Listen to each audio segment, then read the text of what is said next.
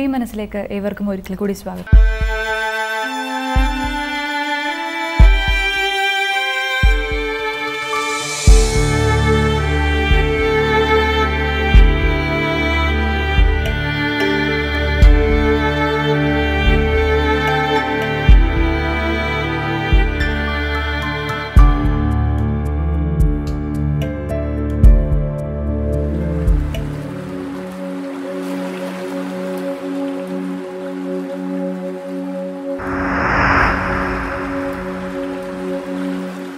മാനസികമായ സംഘർഷങ്ങൾ ഒരുപാട് ശാരീരികമായ പ്രശ്നങ്ങളിലേക്ക് വഴിതെളിക്കും. അതിന് ശാസ്ത്രീയമായ തെളിവുകളുണ്ട്. അത് വെറും തോന്നലുകളല്ല എന്നുള്ളതിനെക്കുറിച്ചാണ്. അതിലേക്ക് കൂടുതൽ വിശദമായി കടക്കാം. ഡോക്ടർക്ക് ഒരിക്കൽ കൂടി സ്വാഗതം. ഹോർമോണൽ ചേഞ്ചസ് ഉണ്ടാകുന്നു അല്ലെങ്കിൽ കോശങ്ങൾക്ക് ക്ഷതം സംഭവിക്കുന്നു എന്നൊക്കെ.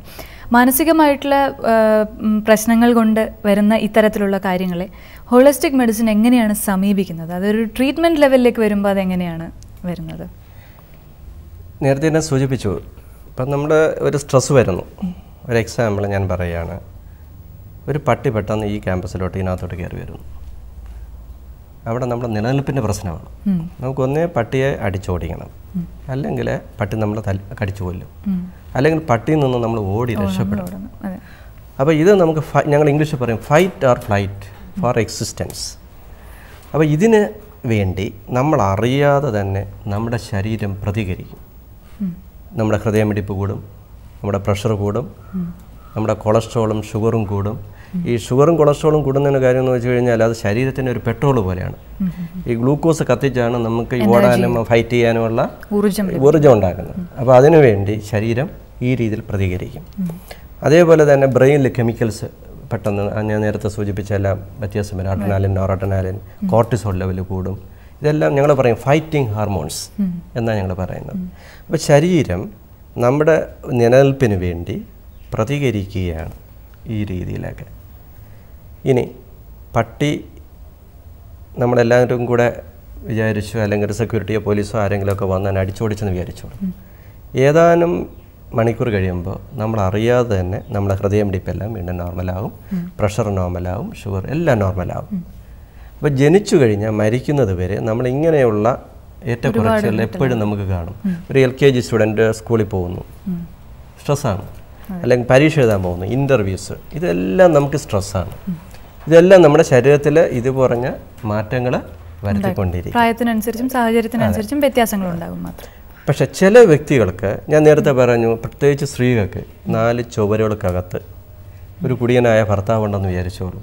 എപ്പോഴ് ഈ രീതിയിൽ ഒരു അടി വരും? എപ്പോൾ അങ്ങനെ ഛർദ്ദിക്കും? എങ്ങനെ ഇടി വരും? ഏത് രീതിയിലൊരു അല്ലാത്ത ഒരു ഇതാണ്. അവർക്ക് രക്ഷപ്പെടാൻ പറ്റുന്നുമില്ല. അവിടെ ഈ ഫൈറ്റിംഗ് മെക്കാനിസവും വലിയ ബുദ്ധിമുട്ടാണ്. ഫ്ലൈറ്റ് ഓടി രക്ഷപ്പെടാനും വലിയ നാല് നാല് അകത്താണ് അപ്പോൾ ഇങ്ങനെയുള്ള സാഹചര്യങ്ങളിൽ നമ്മുടെ ശരീരം ഈ പ്രശ്നത്തെ പ്രതികരിക്കാൻ വേണ്ടി തുടർച്ചയായിട്ട് തന്നെ ഈ ഞാൻ പറഞ്ഞ ചേഞ്ചസ് വന്നുകൊണ്ടിരിക്കും. ആ വ്യക്തികൾക്ക് നമ്മൾ അറിയാതെ തന്നെ കുറച്ച് കഴിയുമ്പോൾ പ്രഷർ വന്ന്. ഞാൻ നേരത്തെ സൂചിപ്പിച്ചു പട്ടി പോലെ ഒരു ഇത് വന്നു. പട്ടി വന്നപ്പോൾ പ്രഷർ കൂടി കുറച്ച് കഴിഞ്ഞ് പട്ടി പോയപ്പോൾ പ്രഷർ പക്ഷേ പക്ഷെ തുടർച്ചയായിട്ടുള്ള സ്ട്രെസ് വരുമ്പോൾ നമ്മുടെ ശരീരം പ്രതികരിക്കുന്ന ഇങ്ങനെയാണ് ഈ വ്യക്തിക്ക് ഈ ജീവിത സാഹചര്യത്തിൽ ജീവിക്കണമെങ്കിൽ ഇത്രയും പ്രഷർ ഉണ്ടെങ്കിലേ പറ്റൂ. ഇത്രയും ഷുഗർ ഉണ്ടെങ്കിലേ ഫൈറ്റ് ചെയ്യാൻ പറ്റുള്ളൂ. ഇത്ര കൊളസ്ട്രോൾ ഉണ്ടെങ്കിലേ ഫൈറ്റ് ചെയ്യാൻ പറ്റുള്ളൂ. അപ്പോൾ കുറച്ച് കഴിയുമ്പോൾ റെസ്റ്റിംഗ് കണ്ടീഷൻസിലും അവരെ പ്രഷർ കൂടിയിരിക്കും. അപ്പം നമ്മൾ പറയും നിങ്ങൾക്ക് രക്തസമ്മർദ്ദം എന്ന രോഗമുണ്ട് അല്ലെങ്കിൽ പഞ്ചസാര രോഗമുണ്ട് കൊളസ്ട്രോൾ എന്ന രോഗമുണ്ട് എന്ന് നമ്മൾ പറയും. അപ്പോൾ നമ്മൾ ഈ ജീവിത സാഹചര്യത്തിൽ രക്ഷപ്പെടാനായിട്ട് നമ്മുടെ ശരീരം നമ്മൾ അറിയാതെ പ്രതികരിക്കുകയാണ് ഇങ്ങനെയൊക്കെ. അതാണ് പിന്നെ രോഗമായിട്ട് മാറുന്നത്. അതൊരു അവയവങ്ങൾ കൂടെ മാത്രം ആദ്യം വരുന്നെങ്കിലും നമ്മുടെ ശരീരം മൊത്തമായിട്ട് ഈ ജീവിത സാഹചര്യം കൊണ്ടുണ്ടായിട്ടുള്ള ആ താളം തെറ്റലിന്റെ ഒരു അവയവങ്ങളിൽ കൂടെയുള്ള ഒരു എക്സ്പ്രഷനാണ് അപ്പം നമ്മൾ ചികിത്സിക്കേണ്ടത് ആ അവയവത്തെ അല്ല. നമ്മുടെ ആ ശരീരം മൊത്തമായിട്ട് വേണം ചികിത്സിക്കാനായിട്ട്. പക്ഷേ ഇന്നത്തെ ചികിത്സാവിധി ഞാൻ ആദ്യം പറഞ്ഞതുപോലെ പ്രഷറായിട്ട് രോഗി വരുന്നു. ആദ്യം പറയും നിങ്ങൾക്ക് പ്രഷർ കൂടിയിരിക്കുകയാണ്. നൂറ്റി എൺപത് നൂറ്റി പത്ത് അപ്പോൾ എന്ത് ചെയ്യണം സാറേ? അത് കാരണം നിങ്ങൾ ഒന്ന് ഉപ്പ് കുറയ്ക്കണം. രണ്ട് രക്തക്കുഴൽ വികസിക്കാൻ മരുന്നിടും. അപ്പം നമ്മൾ രക്തക്കുഴൽ വികസിക്കാൻ ചെറിയ രീതിയിൽ ചില മരുന്നൊക്കെ ഇട്ട് വിടും. അടുത്ത പ്രാവശ്യം വരുമ്പം പ്രഷർ നോർമലായിരിക്കും പേഷ്യന്റ് ഹാപ്പി ആയിട്ട് പോകും. പക്ഷേ അനുഭവത്തിൽ കണ്ടിട്ടുള്ളത് ഏതാനും മാസം കഴിയുമ്പോൾ വീണ്ടും പ്രഷർ കൂടും. അതേപോലെ തന്നെ നമുക്കപ്പോൾ വീണ്ടും നമുക്ക് മരുന്ന് ഡോസ് കൂട്ടേണ്ടി വരും. അല്ലെങ്കിൽ ഒരു മരുന്ന് അടുത്ത മരുന്നിലോട്ട് വീണ്ടും ഇടേണ്ടി വരും. അതുപോലെ തന്നെ പഠനങ്ങൾ സൂചിപ്പിച്ചിട്ടുള്ളത് ഒരു വ്യക്തി ആദ്യം പ്രഷറായിട്ട് കാണിക്കുമെങ്കിലും പ്രഷറിനെ ചികിത്സിച്ചുകൊണ്ടിരിക്കുമ്പോൾ തന്നെ ഏതാനും വർഷം കഴിയുമ്പോൾ ഡയബറ്റിസ് ഒന്നോ കൊളസ്ട്രോൾ ഒന്നോ മറ്റു രോഗങ്ങൾ കൂടെ കാണും. അപ്പോൾ ആദ്യം പ്രഷർ തുടങ്ങും പിന്നെ ഡയബറ്റിസ് ആകും പിന്നെ കൊളസ്ട്രോൾ ആകും പിന്നെ ഹാർട്ട് ആകും പിന്നെ ഒരു ഡിപ്രഷൻ ആകും കാരണം നമ്മൾ അടിസ്ഥാന പ്രശ്നത്തിന് പരിഹരിക്കുന്നതിന് പകരം ഓരോ ഈ പ്ലംബർ ബ്ലോക്ക് മാറ്റുന്നത് രീതിയിൽ രക്തക്കൊഴൽ വികസിക്കാൻ ഇപ്പോൾ ഒരു പൈപ്പിൽ പ്രഷർ പ്രഷർ കൂടിയെന്ന് വിചാരിച്ചു കഴിഞ്ഞാൽ പ്ലംബർ നമ്മൾ വിളിച്ചാൽ പറയും നമുക്ക് അല്പാട് വികസിച്ച പൈപ്പറിന് ആ രീതിയിൽ മരുന്നിട്ട് നമ്മളൊന്ന് വികസിക്കാൻ നോക്കുമ്പോൾ സംഭവിക്കുന്നത് വെച്ചാൽ ഒരു അവയത്തെയാണ് നമ്മൾ ടാർഗറ്റ് ചെയ്യുന്നത്. അല്ല മനുഷ്യനെയല്ല. അപ്പോൾ ഹോളിസ്റ്റിക് മെത്തേഡിൽ നോക്കുന്നതെന്ന് വെച്ചാൽ പ്രഷറായിട്ടാണ് രോഗി വന്നാലും അത് രക്തക്കുഴലിന്റെ മാത്രം അസുഖമല്ല മനുഷ്യന് ഉണ്ടായ താളം തെറ്റലിലെ ഒരു രക്തക്കുഴലിൽ കൂടെയുള്ള എക്സ്പ്രഷൻ അപ്പോൾ ട്രീറ്റ് ചെയ്യുന്ന മനുഷ്യനെയാണ്. അപ്പോൾ ഞങ്ങളിവിടെ പ്രധാനമായിട്ട് ഒത്തിരി ഹോളിസ്റ്റിക് മെത്തേഡ്സ് ഉണ്ട്. ഇങ്ങനെയുള്ള കാര്യങ്ങൾക്ക് പ്രധാനമായിട്ട് കൊണ്ടുപോകുന്നത് യോഗ മെഡിറ്റേഷൻ അതുപോലുള്ള മെത്തേഡ്സാണ് അവിടെ നമ്മൾ രക്തക്കുഴലിന് പ്രത്യേക യോഗ ഹാർട്ടിന് പ്രത്യേക യോഗ എന്നല്ല. മനുഷ്യന് വേണ്ടി മനുഷ്യന്റെ ഹെൽത്ത് ഇമ്പ്രൂവ് ചെയ്യാൻ വേണ്ടി സ്ട്രെസ്സ് കുറയ്ക്കാൻ വേണ്ടി സ്ട്രെസ് മോഡുലേറ്റ് ചെയ്യാൻ വേണ്ടി ഉള്ള മെത്തേഡ്സ് യോഗ മെത്തേഡ്സ് ഉണ്ട് മെഡിറ്റേഷൻസ് ഉണ്ട്. അത് കൊടുക്കുമ്പോൾ ആ വ്യക്തിക്ക് സ്ട്രെസ് ഫേസ് ചെയ്യുന്നതിന്റെ സാഹചര്യം ഉണ്ടെങ്കിൽ തന്നെയും ഈ രീതിയിലുള്ള ശാരീരിക മാനസികമായിട്ടുള്ള പ്രതികരണങ്ങൾ രോഗഗ്രസ്തമാകാതെ നമുക്ക് നോക്കാൻ പറ്റും. അതുകൊണ്ട് ആ രീതിയിലുള്ള മെത്തേഡ്സിനാണ് ഹോളിസ്റ്റിക് എന്ന് പറയുന്നത്. ഈ യോഗയിലൂടെയും മെഡിറ്റേഷനിലൂടെയും ഒക്കെ നമ്മൾ ആത്യന്തികമായി പറയുന്നത് എപ്പോഴും നമുക്ക് മനസ്സിനെ കൺട്രോൾ ചെയ്യാൻ കഴിയും എന്നുള്ളതാണ്. അപ്പം മനസ്സിനെ പൂർണമായും കൺട്രോളിൽ വരുത്തുകയാണെങ്കിൽ അതിലൂടെ ശരീരത്തെ കൺട്രോൾ ചെയ്യാമെന്നുള്ള രീതിയിലാണ്. പൊതുവേ പറയാറുള്ളത്.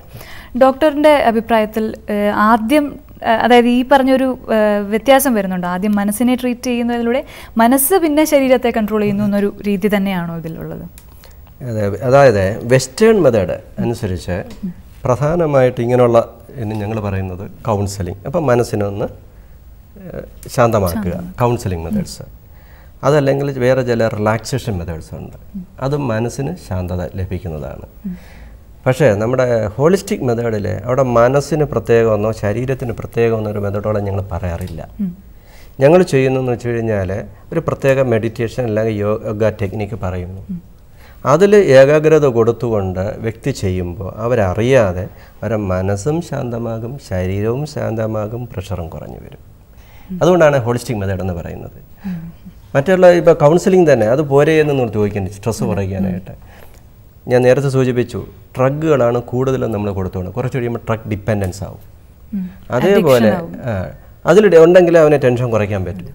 അതേപോലെ തന്നെയാണ് തെറാപ്പിസ്റ്റ് കൗൺസിലിംഗ് എന്ന് പറയുമ്പോൾ അത് തുടർച്ചയായിട്ട് വരുമ്പോൾ കുറച്ച് കഴിയുമ്പോൾ ഒരു കൗൺസിലറിന്റെ സഹായം ഉണ്ടെങ്കിൽ ജീവിത സാഹചര്യങ്ങളെ നമുക്ക് ഒരു പരീക്ഷ വരുന്നു. സാറേ നെഞ്ചെടുപ്പ് വെപ്പോളം ഇന്നെന്ത് ചെയ്യണം? അങ്ങനെ ഡിപ് നമുക്ക് അങ്ങനെ ഡിപ്പെൻഡന്റ് പക്ഷേ യോഗ അതുപോലുള്ള മെത്തേഡ്സ് സെൽഫ് ഹെൽപ്പ് മെത്തേഡ്സാണ് നമുക്ക് നാളെ ഒരു പരീക്ഷ ഒരു വല്ലാത്ത ടെൻഷൻ തോന്നുന്നു. റിലാക്സേഷൻ ചെയ്യുമ്പോൾ നമുക്ക് മരുന്നില്ലാതെ തന്നെ തെറാപ്പിസ്റ്റിൽ നമുക്ക് സെൽഫ് ഹെൽപ്പായിട്ട് നമുക്ക് സഹായം ഉണ്ടാകും. ഇനി ഇനി കൂടുതൽ എനിക്ക് തോന്നുന്നു ഇപ്പോൾ ഹോളിസ്റ്റിക് രീതികളെക്കുറിച്ച് തീർച്ചയായും പ്രേക്ഷകർക്ക് നല്ല രീതിയിൽ മനസ്സിലായിട്ടുണ്ടാവും. പഴവർഗങ്ങളിൽ ഏറ്റവും സുന്ദരം ഏതെന്ന് ചോദിച്ചാൽ ഒരുപക്ഷെ ബുദ്ധിമുട്ടും. പക്ഷേ നമ്മൾ പലപ്പോഴും പറയാറുണ്ട് നമ്മുടെ മുഖസൗന്ദര്യവുമായി താരതമ്യം ചെയ്ത് നോക്കുമ്പോൾ നമ്മൾ പറയാറുണ്ട് ടൊമാറ്റോ പോലെ ചുവന്ന തുടുത്ത മുഖമായിരിക്കണം സുന്ദരിയുടേതെന്ന് പറയാറുണ്ട്. വളരെ സുന്ദരമായിട്ടുള്ള ഒരു പഴം. പഴമാണെന്നും പഴമാണെന്നും പച്ചക്കറിയാണെന്നും പലരും പലതും പറയാറുണ്ട്. പക്ഷേ പഴമായിട്ടാണ് പൊതുവെ അതിനെ കൺസിഡർ ചെയ്യാറുള്ളത്. ഏതായാലും തക്കാളിക്കും ഒരുപാട് ഗുണങ്ങളുണ്ട്.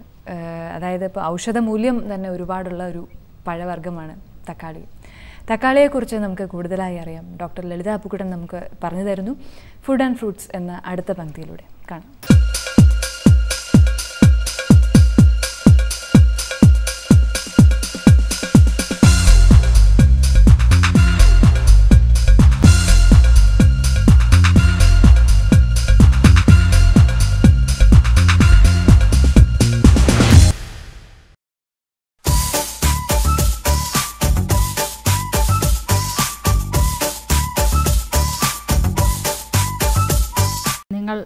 നിത്യജീവിതത്തിൽ എല്ലാ ദിവസവും ഉപയോഗിക്കുന്ന മറ്റൊരു പഴവർഗം തന്നെയാണല്ലോ തക്കാളി. ഇതൊരു സബ് ആസിഡ് പഴമാണെങ്കിലും ഇതിന്റെ ആസിഡിറ്റി നമുക്ക് ഒട്ടും കുഴപ്പം ഉണ്ടാക്കുന്നില്ല. വയറ്റിൽ ഒട്ടും കുഴപ്പം ഉണ്ടാക്കുന്നില്ല. അതുപോലെ തന്നെ ഇതിന്റെ സ്വദേശം അമേരിക്കയാണ്. പക്ഷേ കേരളത്തിൽ വളരെ കൂടുതലായി ഇത് കൃഷി ചെയ്യുന്നുണ്ട്. നമ്മളുടെ ആഹാരത്തിൽ ഇത് ഉൾപ്പെ എല്ലാ ദിവസവും നമ്മൾ കഴിക്കുന്നുണ്ടെങ്കിലും അതിന്റെ ഏറ്റക്കുറച്ചിലുകൾ വളരെ പ്രധാനമാണ്. നമ്മൾ ശരിക്ക് ഇരുന്നൂറ് ഗ്രാം തക്കാളിയെങ്കിലും ഒരു ദിവസം കഴിക്കേണ്ടതുണ്ട്. അത്രയ്ക്ക് പോഷകമൂല്യം കൂടുതലാണ് ഈ തക്കാളിയിൽ. അതുപോലെ ഇതിന്റെ അബ്സോപ്ഷൻ വയറിനകത്ത് നിന്നും അത് പൂർണമായി ആഗീകരണം ചെയ്യുകയും ഇത് പാചകത്തിൽ ഇതിന്റെ പോഷകമൂല്യം ഒട്ടും നഷ്ടപ്പെടുകയും ചെയ്യുന്നില്ല. തക്കാളി നൂറ് ഗ്രാം തക്കാളിയിൽ എബൌട്ട് തൊണ്ണൂറ് ശതമാനം വെള്ളം അടങ്ങിയിട്ടുണ്ട്. എങ്കിൽ തന്നെയും പ്രോട്ടീൻ ഒരു ഗ്രാം ഉണ്ട്. ഏറ്റവും കൂടുതൽ vitamin C vitamin A beta carotene calcium iron ഒക്കെ വളരെ കൂടിയ അളവിലാണ് തക്കാളിയിൽ അടങ്ങിയിട്ടുള്ളത്. ഓറഞ്ചിലും മുന്തിരിങ്ങയിലും ആപ്പിളിനേക്കാളൊക്കെ വളരെ കൂടിയ അളവിൽ തക്കാളിയിൽ ഇവകൾ അടങ്ങിയിട്ടുണ്ടെന്നുള്ളത് വലിയ ഒരു പ്രധാന കാര്യം തന്നെയാണ്. അത് നിങ്ങൾ എപ്പോഴും ശ്രദ്ധിക്കുകയും വേണം. ആഹാരത്തിൽ എപ്പോഴും തക്കാളി ഉൾപ്പെടുത്താൻ ശ്രമിക്കുക. പോഷക മൂല്യങ്ങളുടെ കാര്യം പറയുകയാണെങ്കിൽ ഇതിന്റെ തൊലിയിൽ അടങ്ങിയിട്ടുള്ള ലൈക്കോപ്പിൻ. അതുകൊണ്ട് തൊലി തന്നെ കളയാൻ പാടില്ല. നമ്മൾ തൊലിയോടൊപ്പം അത് കഴിക്കണം. പക്ഷേ ഒരു പ്രശ്നമുണ്ട്. ഇത് ഇൻസെക്ടിസൈഡ്സ് സ്പ്രേ ചെയ്ത് വരികയാണ്. എല്ലാ നമ്മളുടെ പഴവർഗങ്ങളും ഇൻസെക്ടിസൈഡ് സ്പ്രേ ചെയ്യുന്നുണ്ട്. അതുകൊണ്ട് കഴിയുന്നതും പുളിവെള്ളം ഉപ്പ് വിനാഗിരി. ഇത് ഏതെങ്കിലും ഒരു വെള്ളത്തിലിട്ടിട്ട് ഇത് നന്നായിട്ട് സോക്ക് ചെയ്ത് വെച്ച് ഒരു അരമണിക്കൂറിന് ശേഷം നന്നായിട്ട് കഴുകിയിട്ട് വേണം ഈ തക്കാളിയൊക്കെ സാലഡിനും മറ്റും ഉപയോഗിക്കാൻ. കറി ഉണ്ടാക്കുമ്പോൾ അത് തിളയ്ക്കുന്ന സമയത്ത് കുറേയൊക്കെ നഷ്ടപ്പെടുമായിരിക്കാം. അല്ലാതെ കഴിക്കുന്ന സമയത്ത് എപ്പോഴും ഈ കാര്യങ്ങൾ ശ്രദ്ധിക്കുക. അതുപോലെ ഈ തക്കാളിയുടെ തൊലിക്കകത്ത് ലൈക്കോപ്പിൻ എന്ന ഘടകം അടങ്ങിയിട്ടുണ്ട്. അത് ഒത്തിരി ക്യാൻസറിനെതിരായിട്ട് പ്രവർത്തിക്കുന്നതാണ്. അതുകൊണ്ട് എല്ലാ ദിവസവും തക്കാളി കഴിക്കുന്നവർക്കും ഇതുപോലെ ക്യാൻസർ വരാനുള്ള സാധ്യത കുറവാണ്. പിന്നെ ഒരു സൈഡ് എഫക്റ്റ് ഉള്ളത് ഇതിനകത്ത് കുറേ സിട്രേറ്റ് ക്രിസ്റ്റൽസ് ഉള്ളതുകൊണ്ട് യൂറിനറി സ്റ്റോൺസ് കല്ല് മൂത്രത്തിൽ കല്ലുള്ളവർ ശ്രദ്ധിച്ച് കഴിക്കുക. സിട്രേറ്റ് സ്റ്റോൺസ് ഉള്ളവർ മാത്രം ഇത് ഒഴിവാക്കുക. മറ്റുള്ളവർക്ക് നന്നായിട്ട് കഴിക്കാവുന്നതാണ്. ഇത് അതുപോലെ സ്കേവി അത് മോണരോഗമുണ്ട്. വൈറ്റമിൻ സിയുടെ കുറവ് കൊണ്ടുള്ള മോണരോഗം അനീമിയ രക്തക്കുറവ് ഇങ്ങനെയുള്ള അസുഖങ്ങൾ. അതുപോലെ അതുപോലെ നൈറ്റ് ബ്ലൈൻഡ്നെസ് കണ്ണിന് കാഴ്ച കുറയുന്നത് അമ്മ അനി രാത്രിയാവുമ്പോൾ കണ്ണിന് കാഴ്ച കുറയുന്ന ഒരു അസുഖമാണ് നൈറ്റ് ബ്ലൈൻഡ്നെസ് ഇതിനൊക്കെ ഏറെ ഫലപ്രദമാണ് ഈ തക്കാളിയുടെ ഉപയോഗം. എല്ലാ ദിവസവും നമ്മൾ ആഹാരത്തിൽ ഇത് ഒരു നിശ്ചിത അളവിൽ ഉപയോഗിച്ചു കഴിഞ്ഞാൽ ഏകദേശം ഇരുന്നൂറ് ഗ്രാം അതായത് ഒരു ഏകദേശം നാല് തക്കാളി മതിയാവും. അമ്പത് ഗ്രാം വെച്ചിട്ടുള്ള നാല് തക്കാളി നമ്മൾ ദിവസവും ഉപയോഗിച്ചു കഴിഞ്ഞാൽ നമുക്ക് വളരെ കൂടിയ അളവിൽ സോറി നമ്മൾ വലിയൊരു അളവിൽ തന്നെ നമുക്ക് ഈ അസുഖങ്ങളിൽ നിന്ന് തന്നെ മോചനം നേടാം.